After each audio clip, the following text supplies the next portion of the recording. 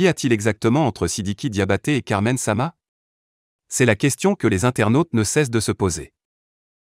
Depuis quelques jours, Sidiki Diabaté est à Abidjan dans le cadre d'un concert qui a eu lieu le jour de la fête de Ramadan, du côté du Palais de la Culture de Trecqueville.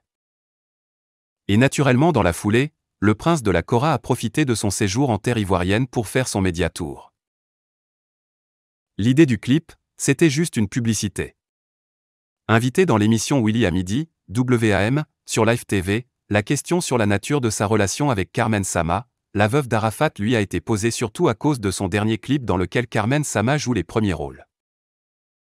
L'idée du clip, c'était juste une publicité. C'est ce que les gens n'ont pas compris. Carmen est une bonne dame, elle est jolie, elle représente la femme africaine en tant que telle.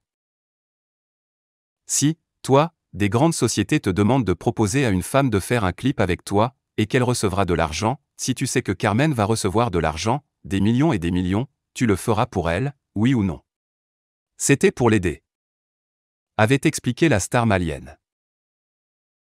En effet, très proche du Daishikan de son vivant, Sidiki Diabaté semble être un proche qui s'est assigné pour mission de protéger sa femme Carmen Sama et sa fille Rafna Ouon qu'il considère d'ailleurs comme sa femme et son enfant.